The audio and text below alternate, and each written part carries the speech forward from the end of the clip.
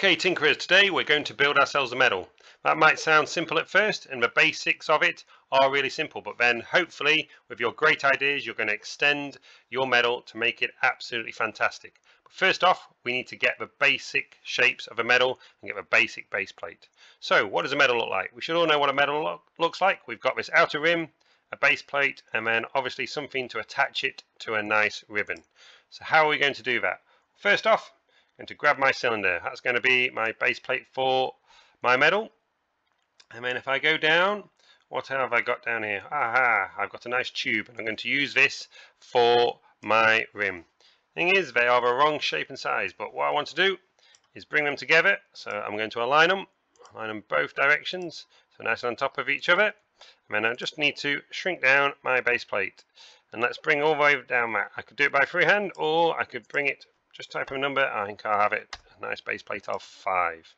It's looking a bit small at the moment, so let's grab them both and let's extend them outwards. I could do this freehand or I could just type in, I'm going to have it nice 50 by 50. Here we go.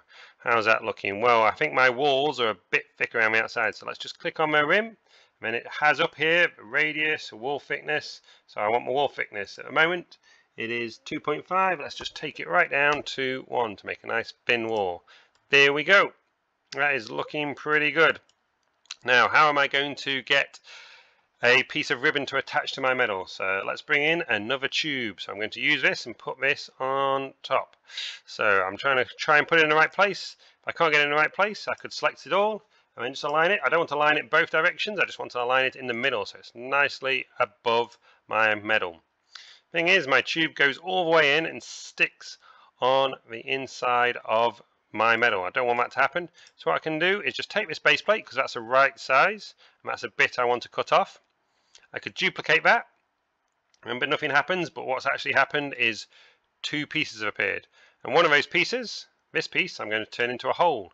And I'm going to extend it upwards so it covers up my tube. And then all I need to do is hold shift, select both parts, a bit I want to cut off, a bit, well, bit I'm cutting off, group them together, and then it's going to take off my bit that's covering up my base plate. And there you go, I've got my part for the ribbon. And it's looking good. There's my basic parts, my basic shapes of a medal. So what do I want to do now? Well, let's have some words on my medal. Let's go down, I've got some text. Here you go, let's grab that what am I going to have on my text today? Let's take it, let's have NASA. I want to shoot for the moon today. I could change a font if I don't like that font. Let's have a nice sans font. And then I can just and shrink it down, put it onto my medal. I'll see if it fits. If it doesn't fit, shrink it down a little bit more, get it looking right. Whoops daisy, if I make a mistake, just go back to undo get my medal there we go. I could twist it slightly so it's nice little cool kind of arrows. If I want to adjust it slightly I can use my arrow keys. There we go. That's looking pretty good. I can always adjust the height of it just by clicking on that and it's 10 already. And I know my base plate's 5 so it's sticking out a nice little 5 at the moment. And that's I'm happy with that so what else could I have? I could have a nice little cool picture. Now what I do know exists is a nice little rocket to go with my NASA. So away from basic shapes into shape library. And not and in shape library I can look at design starters. And if I go down, go looking for it, there should be a nice astro charm. Bring that on.